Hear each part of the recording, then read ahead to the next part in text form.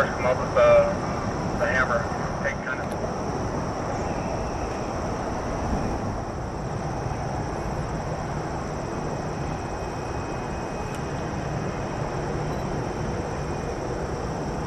Amtrak on three, Joker.